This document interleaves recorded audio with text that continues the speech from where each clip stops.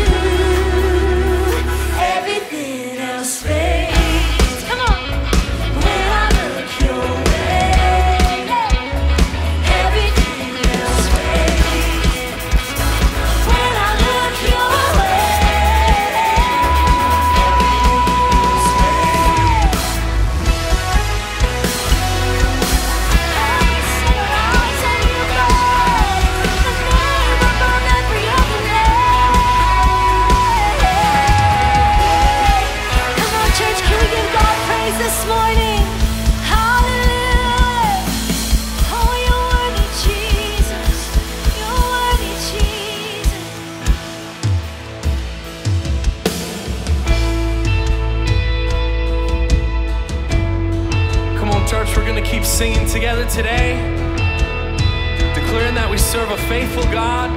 He's the same yesterday, today, and forever. It means we can count on Him. We're here for you, Jesus.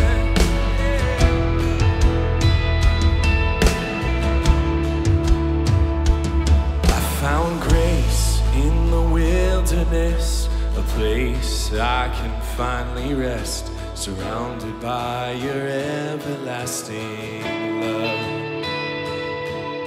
Your kindness, you drew me in as you began to build within a heart with design from above. Come on, he's faithful. Sing, I can count. I can count on you in every single moment.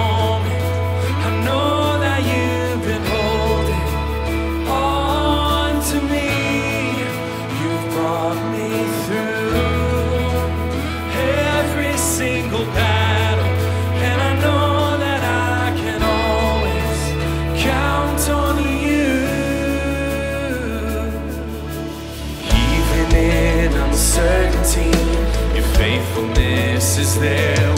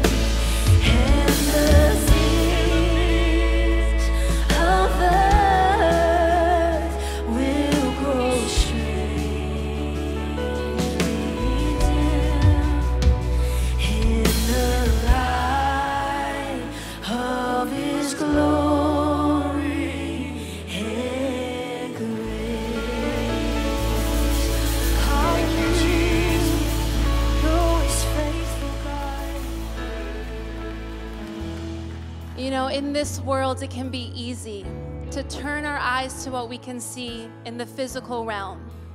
We turn our eyes to social media. We turn our eyes to the news. We turn our eyes to our bank account. We turn our eyes to relationships. But it's when we turn our eyes to Jesus that we find everything that we are looking for. It's in Jesus that we find freedom and healing and salvation and help and hope.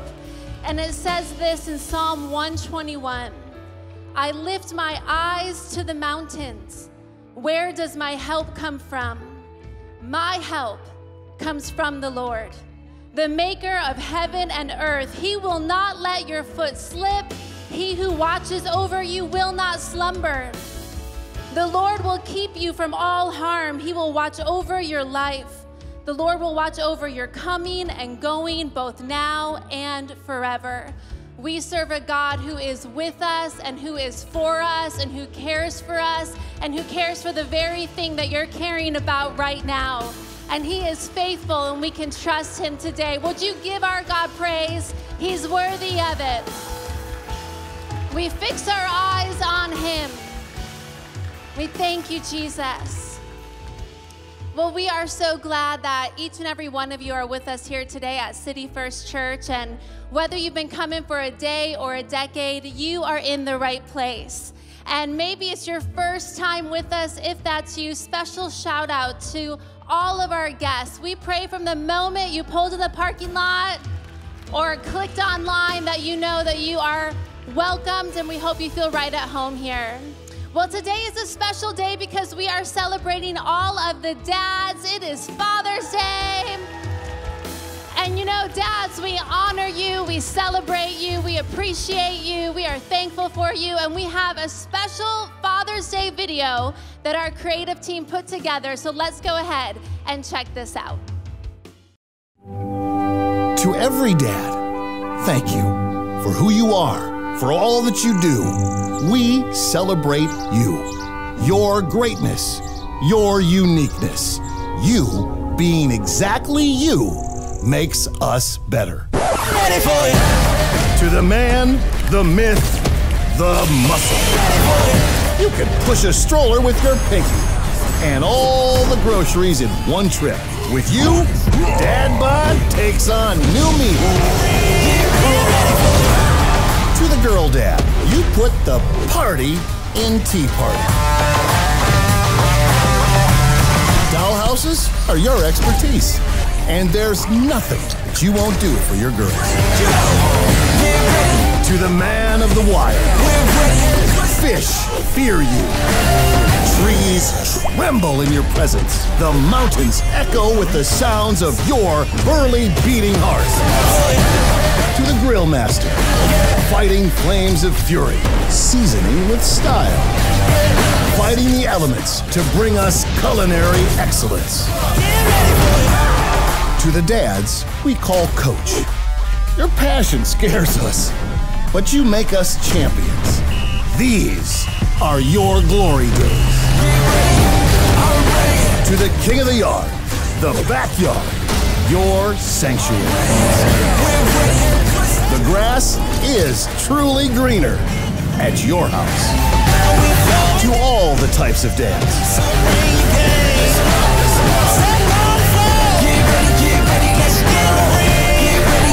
Be you.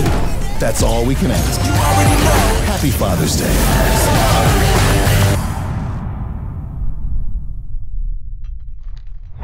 Okay, so you guys ready to go learn how to play basketball? No!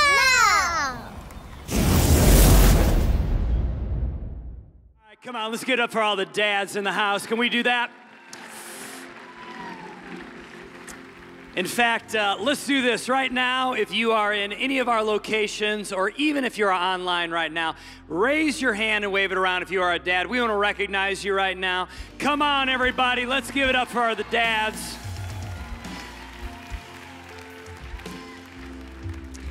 We really do take time today and honor you. Uh, being a father is not easy, and uh, you have to juggle and balance all of the things, right?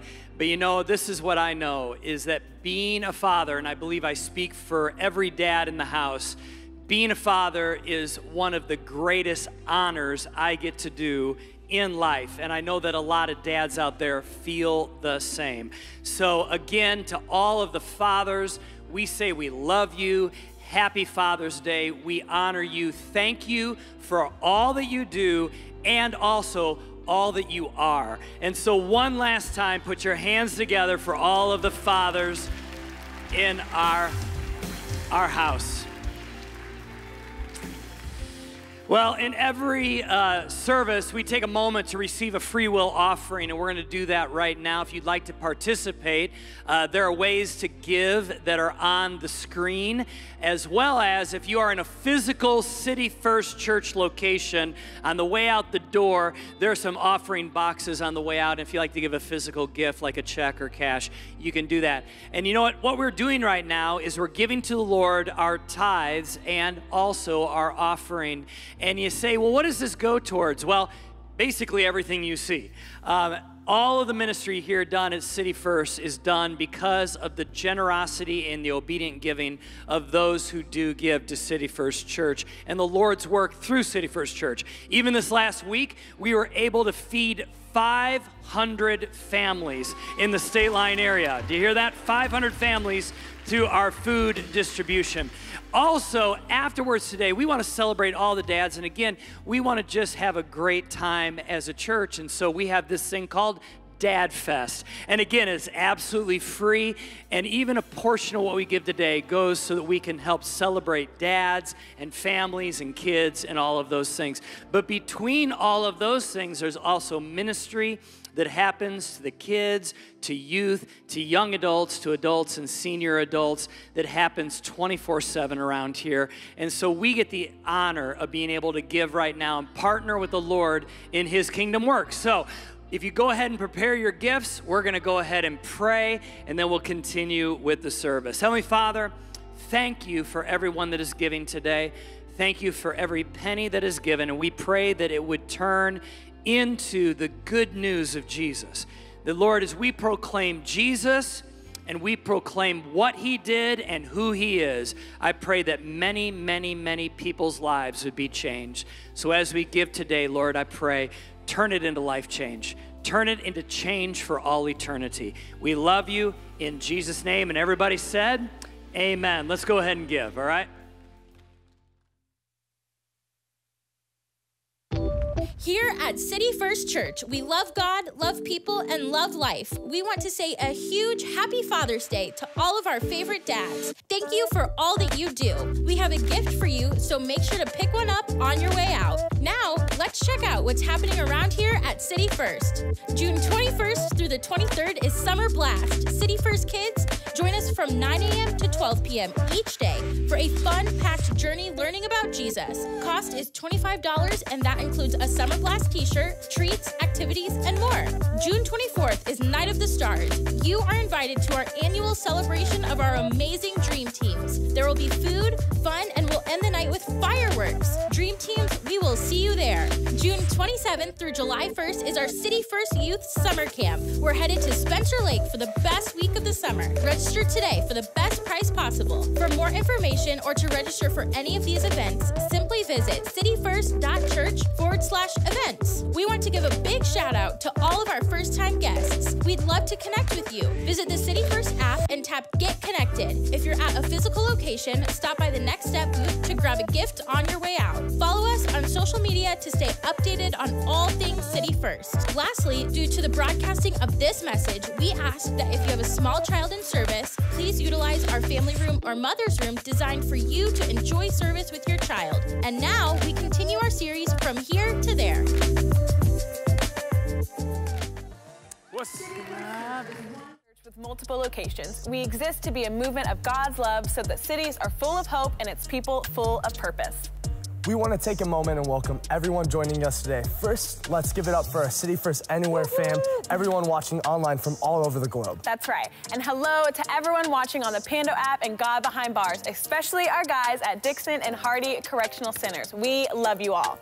Let's hear it for our Southwest Florida family, City First Cape Coral. And finally, hello to everyone sitting in a seat at our very own Spring Creek location. That's right. God is up to something today, and He is just getting started. So let's get ready to lean in and take notes as we hear a message from Pastor Ryan Leak. All right, for real this time. Yeah. Welcome Welcome to City First Church on this Father's Day weekend. We just want to take a moment to celebrate all the dads in the building and watching online today. It's also officially another holiday. It is Juneteenth. Now, for those of you that don't know, Juneteenth, um, also known as uh, June 19th, it's an important day in African American history. It is officially, for the first time in history, an actual holiday. It's nationally celebrated as a, a, a commemoration of the ending of slavery in the United States. So even after the Emancipation Proclamation, two years after that, on June 19, 1865, Union soldiers landed in Galveston, Texas, with news that the war had ended and that all slaves were indeed free. So now Juneteenth uh, has become uh, an official holiday, it's an official day where we really get to celebrate the freedom of all people. And I just think it's always good for you to know where, where things come from. Father's Day uh, was actually celebrated also on June 19th, first time ever, 1910, in the state of Washington. And um, now here's what's interesting it wasn't until 72, 58 years later, after President Woodrow Wilson made Mother's Day official. So that day, uh, so just imagine that there, there, was a world where there was just Mother's Day. It was like Happy Mother's Day, and all the dads was like, mm-hmm. Okay, now then 58 years later, it's like, all right, why don't we give them a day too? All right, so so today uh, we hold Father's Day in one hand and Juneteenth in another, and honor dads while also honoring African American history and freedom for all people. Uh, my wife uh, actually recently just wrote a children's book uh, in this same vein. It's called Jackson and the Not So Colorful Day. This is a book that tells the story of a young boy uh, who's an artist and wakes up one day and the world has lost its color. So, him and his grandfather, they go on a journey to discover what it truly means to recognize everyone's beauty, making the world a, a more colorful place. And so he goes into all of these different Latin, Asian, uh, Italian, different neighborhoods, and, and the world just keeps getting a, a little bit more colorful. The book kind of goes from like black and white to full of color. And I just think um, it's a great way to have a conversation with kids about how to celebrate the beautiful cultural diversity around them. So, shameless plug here for the wifey. You can scan this QR code to get your copy. You should buy 100 each or whatever you can afford. I get it, times are tough. Um, now, we've been in a, a series called From Here to There How to Grow the Leader in You for the World Around You. And I think that this is very, very important because in the times that you and I live in, we all need to be growing as leaders. And I'm not just talking about your vocation, I'm talking about your home, your life uh, because at the end of the day, leadership is really, it's really just influence. It's just having an influence on somebody. And there's different types of influence. One that has become popular in our culture today is being a social media influencer. And I have many friends that sit in this category. It's actually become their, their actual profession. Now, whenever I have a conversation about this type of influence, the question I often have is going, okay, so if you want to be a social media influencer or, or you are a social media influencer, what are you influencing others to do? Like, you want them to do what? You want to influence them to wear what you wear or drink what we drink or eat what we eat or style our home, how we style our home. Like, what is it that you're hoping they're, that they're going to do? If we're going to be influenced by you, what are we being influenced to actually do? And I get that that's some people's career now, but that's just one form of influence. I think there is a form of influence that is often neglected, and it's the influence that you and I can have on people offline every single day. And the influence that people have on us. Here's what, I, here's what I want you to know today big or small, every single person under the sound of my voice has influence on somebody somewhere. It could be a class, a team, a neighborhood, a child, a teammate. Uh, my dad had a tremendous influence on me, uh, but after suffering a stroke when I was in the fifth grade, uh, he was simply uh, physically limited uh, for the remaining 18 years of his life. But I do remember growing up here at Christian Life, here in Rockford, and having the opportunity to be around different dads who own businesses. Uh, some practice law, some practice medicine, some were leaders at their company. And I just remember so many of those parents who were incredibly kind and generous to me during those years. Um, there was one time I was sitting at a friend's house, we are watching TV, and a commercial comes on, and it ended with 0% APR financing. And I remember sitting on that couch, and I felt dumb because I didn't know what APR stood for. And I just remember um, that dad pulling me to the side and explaining to me how to buy a car and how interest rates work. And he went on to teach me about stocks and investing and, and how that whole world works. And, um, there was another parent who uh, introduced me to a preacher named Dr. Myles Munroe. And here's what he said. Here's what he said. He said, Hey, uh, Ryan, for every sermon you listen to and write me a summary, I'll give you $25. I said, You don't know who you talking to, bro. You about to go broke, okay? Like you ain't gonna have no like, dude, you don't understand. Like this is my lane, okay? And so, so I just it, it was amazing. He put me in a position and had no idea he was training me for what I'm doing right this very minute. He had no idea.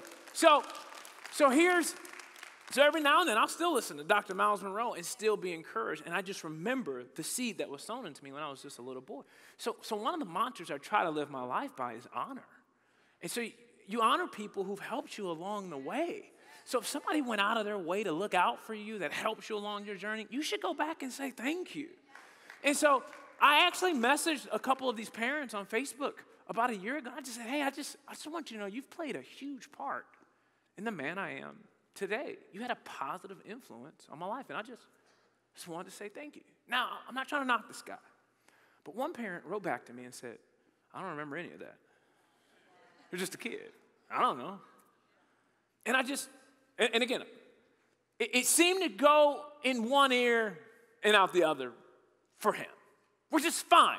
My takeaway was this from that very small exchange Ryan, do not underestimate the influence and impact you can have on somebody's life right now. So here's what you got to understand. I, like, you, whether you're a pastor or a leader or not, you are influencing somebody right now. Do not take that for granted. You never know who's watching, you never know who's taking notes. There's somebody in your life right now that believes they cannot. That has been the theme of their life. I can't, I can't, I can't. They're on the verge of giving up. They've grown weary of the grind, but because they got you in their corner, things could be different. You just never know. Here's what I know to be true for you and me. Whenever we begin to step into the influence and leadership God has called us to, I promise you this we're going to experience opposition. You cannot be surprised when you experience opposition. There's going to be challenges. And, and, today, we're going to talk about the different types of opposition I believe we can experience when trying to be a godly leader. We've been looking at a leader in Scripture who has many leadership lessons in his life. And I think there's a lot that we can learn from him, and his name is, his name is Nehemiah. Uh, he writes about his journey in an Old Testament book named after him, in case you've missed the last couple of weeks. Uh, here's a little bit of context for Nehemiah. Uh, Nehemiah, uh, he was a layman. In other words, he had a regular job. Okay, he wasn't a pastor, he wasn't like a priest or major prophet like Isaiah, Jeremiah, nothing like that. He, he served the Persian king in a regular day job, and, and, he, and one day is brokenhearted. And he sees that Israel's walls were still in ruins. So when they would return there a couple times a year, they'd always be reminded of their defeat. So Nehemiah's going, I want to do something about this. So the Persian king actually gives Nehemiah permission to go and rebuild the walls and actually gives him the resources to do it. And he gives him a security detail, which is very important. So Nehemiah leads this group of Jews to Jerusalem in order to rebuild the city walls. And here's where I want to begin today's message, and it's found in Nehemiah chapter 2, verse 8. It says, When, and may I have a letter to Asaph, keeper of the royal park, and so he will give me timber to make beams for the gates of the citadel by the temple and for the city wall and for the residence I will occupy. And because the gracious hand of my God was on me, the king granted my request. So I went to the governors of the Trans Euphrates and gave them the king's letters the king had also sent army officers and cavalry with me. One scholar writes that Nehemiah's expertise uh, in politics and his expertise in spiritual matters made him the perfect person to rebuild the walls. And then uh, what we end up seeing in Nehemiah chapter 2, verse 8, it says, When Sanballat the Horonite and Tobiah the Ammonite official heard about this, they were very much disturbed that someone had come to promote the welfare of the Israelites. Whenever you're trying to do something good, there's going to be somebody that's going, No, some people just want to see the world burn. What we learn from Nehemiah is that the first kind of opposition you and I are going to experience in leadership and leveraging our influence for good is number one, relational opposition. There's going to be some people in your life where it's just, they just don't want to see you succeed at all. Opposition can come from people we love, opposition can come from people we don't like, people who don't like us, people we expected more from, people who are jealous. And all I just want to tell you today is this don't be surprised when people don't support what God has called you to do. I saw this on Twitter the other day that says whatever God called you to do was not a conference call. Okay? It was just it was just between you and him. You can't get frustrated that other people don't understand it or don't get. It. He called you to do it, not them. So sometimes we want everybody to support our cause and get frustrated with others when they don't. One of the most freeing statements I ever heard from a mentor was Ryan, your world is not the world. Sometimes what happens in my world and my cause clashes with yours, and it can feel like opposition when indeed we're on the same team. In the case of Nehemiah, he experienced opposition because people saw what Nehemiah was trying to accomplish as a threat. So let's look at chapter 4 to see how this played out and what strategy Nehemiah employed to be successful in his endeavors. It says, When Sanballat heard that they were rebuilding the wall, he became angry and was greatly incensed. He ridiculed the Jews. You ever been ridiculed? You ever been talked about? What's our typical response? Out ridicule them. oh, I'm gonna show you. But here was, here was Nehemiah's response. Hear us, our God, for we are despised. He didn't take to social media. I'm going to show you. He took it to God. Ladies and gentlemen, when, whenever you've got relational opposition, sometimes you think, uh, it's here. But before you fix here, you should go there. Nehemiah 4, verse 6, this is, I don't want you to just see see their actions and how they responded to being ridiculed.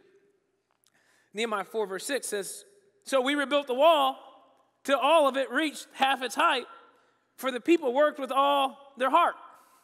They kept moving. Now we see this theme again a couple verses later. It says, They all plotted together to come and fight against Jerusalem and stir up trouble against it. But we prayed.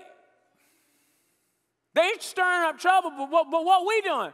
We prayed and posted a guard day and night to meet this threat. You ever had somebody come to your job just ready to stir up trouble? It's like, oh, it's you today, huh? That's, this is what we're gonna do on a Monday? Okay, I see, I see what's going on here. Like you, like you ever had someone in your house come over to you ready to stir up trouble? You're like, why? Why right now? Okay? You ever had somebody plotting against you? I want you to see how Nehemiah responded. He prayed, he prayed, we fight. He prayed, we post. But he didn't just pray he prayed, and the people kept working with all their heart. Sometimes we get relational opposition and we give up. We, we, we stop giving our all because we're going, oh man, this, this is. He prayed, and the people posted guard day and night to meet the threat. Here's what I want you to think about this weekend pray for God to do his part, and we keep giving our best energy to our part. The opposition is designed to get you to give up. Sometimes we want God to do a, a, a bailout miracle. But I think what we need to do at times is keep being faithful with our part while we pray that God does the same with His. The second kind of opposition you're going to experience when you start leveraging your influence and start stepping into your leadership is number two mental opposition. Mental opposition. Somebody getting a phone call, you might want to answer that. Listen, mental opposition. Nehemiah chapter 4, verse 11. Listen, you can put it on silent now. Mike just said, What's up? Nehemiah 4, verse 11, it says, Also our enemies said, before they know it or see us. We will be right there among them and will kill them and put an end to the work. This is what the enemies have said.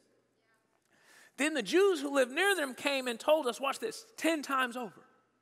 10 times over, listen, they're gonna kill us, they're gonna kill us, they're gonna kill us, they're gonna kill us, they're gonna kill us. Like, do you see? It's in their mind. You can see it. And, and wherever you turn, they will attack us. Therefore, this is what Nehemiah does. He said, I stationed some of the people behind the lowest points of the wall at the exposed places, posting them by families with their swords, spears, and bows.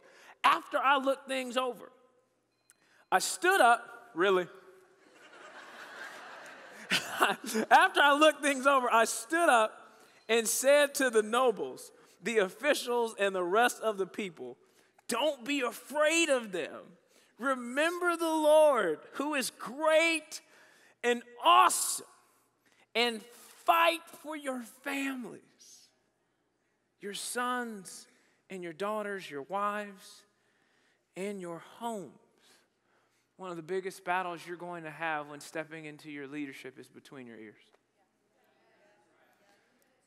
I, I can't tell you how many leaders, mind games. It's, it's, it's, it's the wavering, it's the wavering back and forth. Nehemiah 6, verse 9, it, it speaks to this too. It says, they were all trying to frighten us, thinking their hands will get too weak for the work and it will not be completed. But once again, Nehemiah said, But I prayed. But I prayed. Now, strengthen my hands. Did you know that uh, on average we think 6,000 thoughts per day? 6,000 thoughts. They say some people think 60,000 thoughts per day. That's what we call our overthinkers. Any overthinkers in the building, you know what I mean? Like you think in your sleep, okay? Like all sleep is is you thinking with your eyes closed in the dark, okay? You just never stop thinking, all right? Oh, but on average, 6,000 thoughts per day. Did you know 80% are negative? That's 4,800 to 48,000 negative thoughts per day. Did you know that 95% are repetitive? Which means you got the same Spotify playlist going on and on and on and on and on again.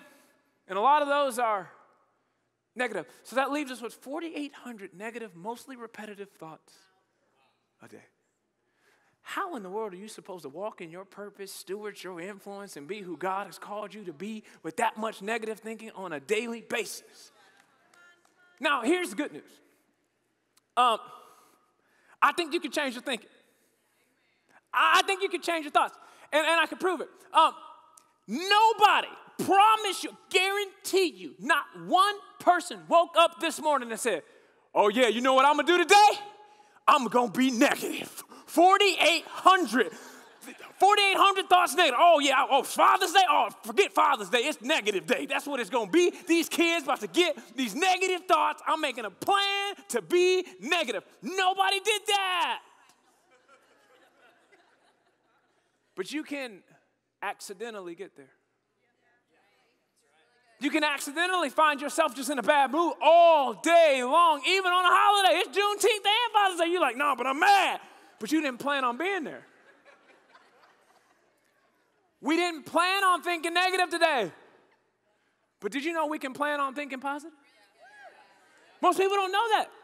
If you don't have a positive plan for your thoughts, you will accidentally, accidentally end up with a negative average way of thinking. Every single one of us. If you, if, here's the deal. I think you can change your thoughts by planning them ahead of time. I think you can. So, here's here's how some people live. Some people just let their day happen to them, and their attitude hinges on how well their circumstances go. And then there's those special people who've already made up their mind as to what their attitude and perspective is going to be before they see outcomes. So, some people wake up expecting bad things to happen to good people. And then there are some people wake up expecting to do something good for all people. What kind of person do you want to be today? Dad, what kind of person, what kind of father do you want to be? Make a plan. Make a plan right now. Oh, I'm buying somebody lunch this week. Oh, yep, yep, yep. I've already made it up in my mind. I don't even know who it is. I don't know who I'm going to be, but you know, I've already decided that this week's the week. We're going to help a single parent today. I'm going to encourage somebody this week. Whether you're in a good mood or not, I've already made up my mind. I'm gonna make somebody else's day, even if mine isn't going well. You gotta make a plan for this. I'm not waiting to see how it goes. No, no, no, no, no. I know how it's gonna go. In fact, I'm gonna be a part of how it goes for somebody else. Nehemiah saw the opposition and he made a plan. His plan said, I'm gonna equip my people with weapons, and guess what? You're gonna fight together as a family. You're going to do it together in the midst of their fears and doubts. Remember, 10 times over, they're going to kill us, they're going to kill us, they're going to kill us, they're going to kill us, they're going to kill us, they're going to kill us. Nehemiah said, I know what you're thinking, but let me tell you who you are and who your family is. You're fighters. You're stronger than you think you are. Ladies and gentlemen, this is where you start becoming a thought leader. Okay? Hey, mom. Hey, dad. Be the thought leader in your home. I know your kids are being influenced by a number of platforms, but be their thought leader. Somebody said to me the other day, I cannot imagine where things will be by the time your kids are in college. And I said, Yeah, well, on one hand, you're right, but here's my thought they'll be there for such a time as then. And I'm raising them for such a time as now. So they'll be there now, they'll be there then. Like, hey, here's the deal. They were born for this time. They were born for this time for a reason. God created them and designed them for this exact moment they're in right now. It's not an accident, it's not a coincidence. Listen, your kids are in the state line area for a reason, okay? They're in Florida region for a reason. Your influence in their life makes a difference. So here's what I want to encourage you to do raise them to walk in the influence God has given them. Remind them of the authority they have as children of God. Teach them where to find their identity when tempted to find it in the wrong place. Equip them with the knowledge they need for their future. Model habits you want them to have in their future. If you say, man, I really want them to be raised in the things of God, well, then guess what? You might have to start going to church a little bit more than yourself. You can't expect from them what you will refuse to model. Ladies and gentlemen, God's not shocked or shaken in, at his throne when he sees what's going on in the world right now. He ain't nervous. God's a lot of things. One thing he'll never be is nervous. You ain't never seen God. Oh my God. Oh, oh, oh, oh. that ain't God. That, ain't God. That ain't how God talk. Yeah. No, that's not him. God is looking at what's happening in the world and he's going, Yeah, I'm going to start sending leaders through the next generation to rise up. Don't be afraid for your children and what lies ahead. Prepare them for what lies ahead. I've never been more excited to be a father. Let's go. Come on. We were born for such a time as this. Stop mourning how the world used to be and start shining in the world as it is. The last kind of opposition I believe we can experience as leaders is physical opposition. Hands grow tired, so do our feet. Sometimes you just grow weary of what God has called you to do, and you get tired. Nehemiah chapter 4, verse 10 says, Meanwhile, the people in Judah said, The strength of the laborers is giving out, and there is so much rubble that we cannot rebuild the wall. And later on, Nehemiah gets an invitation to take a break. Nehemiah 6 1 says, When word came to Sanballat, Tobiah, Geshem the Arab, and the rest of the enemies that I had rebuilt the wall and not a gap was left in it, though up to that time I had not set the doors and the gates. Sanballat and Geshem sent me this message Come, let us meet together in one of the villages on the plain of Ono. What was Ono? Ono was a beautiful valley some distance from the city, place of relaxation. Vegas, Cancun, Cabo. Come on, let's take a break. Oh no, it's the perfect name for this place, okay? At, at Oh no, the enemy says, Why don't you just give up? Kick up your feet. You deserve a break. You've been, you've been working hard. Come off the front lines. My mom sent me this verse about a year ago. It's out of the message version, Psalms 18:30. Every God direction is road tested. Everyone who runs towards him makes it.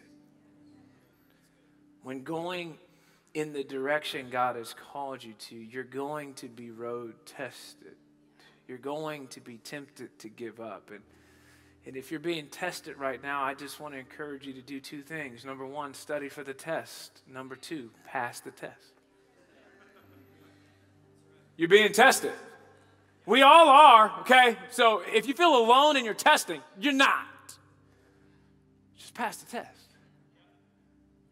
Just pass the test. Me and my wife, we use this phrase all the time. It's like, whew, we feel like we're being tested right now. Yeah, we just we should probably just pass the test. Just pass the test. I love what we see Nehemiah do. That's that it, it, it's an Old Testament move. You see it a lot through the Old Testament whenever they're trying to have any type of strategy against the enemy. One of the things that, that you see in the Old Testament is they always knew who their real enemy was. And they always knew where to go to get their strength.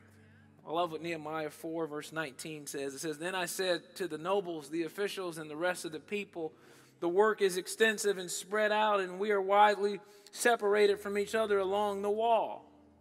We're not together. But then he says, Wherever you hear the sound of the trumpet, join us there. Our God will fight for us. The OGs in the Old Testament, they said, they didn't fall for the temptation of going, well, maybe if I'm just a better fighter. no, no, they said, no, we're going to worship. okay?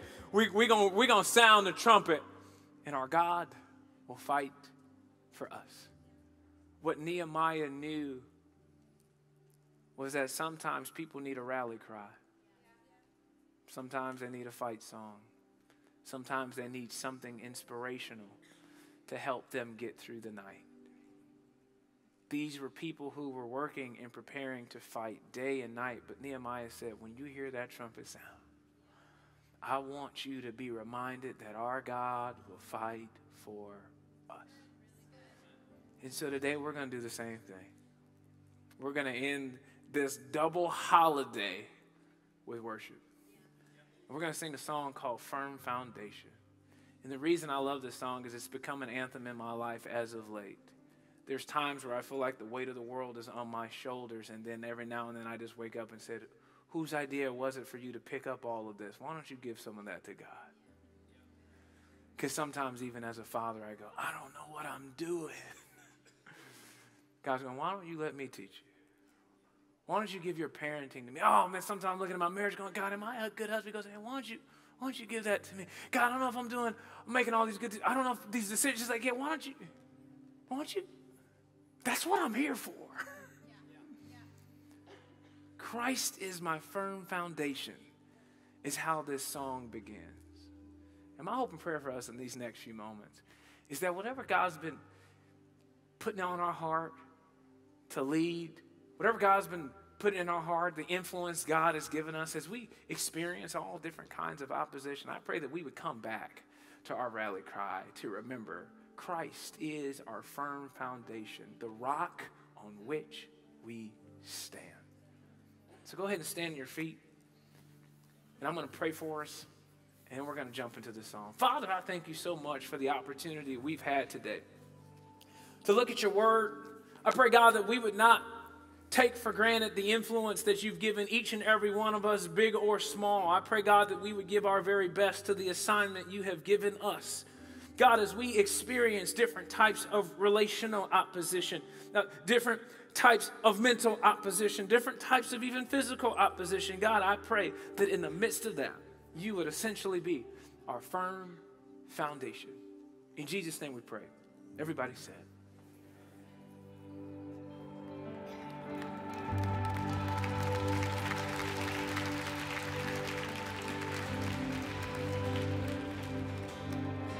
Christ is my firm foundation, the rock on which I stand when everything around me is shaking.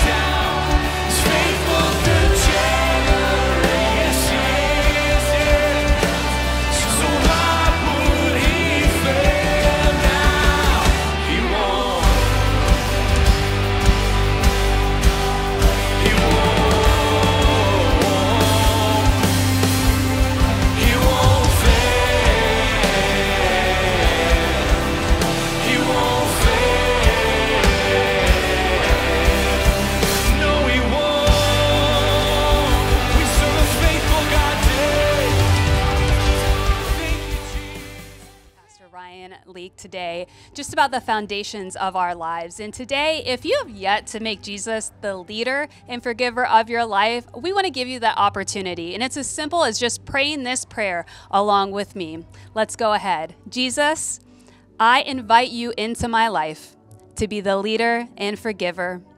Thank you for dying on a cross so that I can live in you and with you.